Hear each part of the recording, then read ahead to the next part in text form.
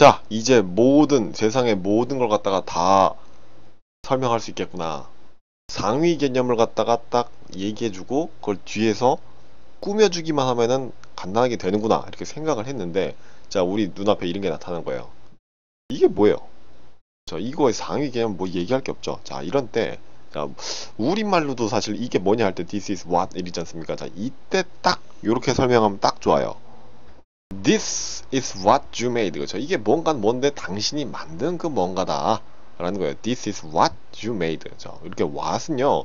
우리말로도 약간 그 뭔가 그런 느낌이 또 있기도 하지만 핵심은 앞에 뭐 이렇게 꾸밈을 받는 말 그죠? 아까 무슨 어 애니 언 애니멀이랄지 저 혹은 man이랄지 그 꾸밈을 받는 말이 있었잖아요. 그런 게 없어요.